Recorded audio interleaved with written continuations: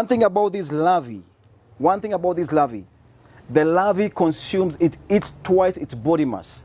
Assuming you are 100 kilos or 80 kilos, it's you're saying every single day you are eating 160 kilos of food every single day. This how they are. These are ferocious eaters. The ferocious eaters. They can eat and eat and eat. That's why they're good for conversion of waste.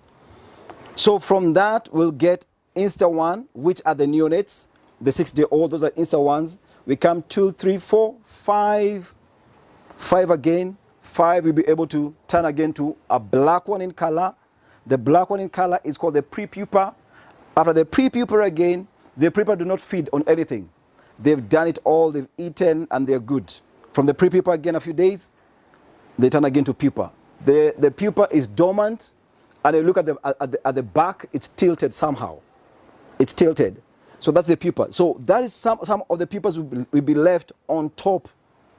So that's the easy way of separating the larvae from the pupa.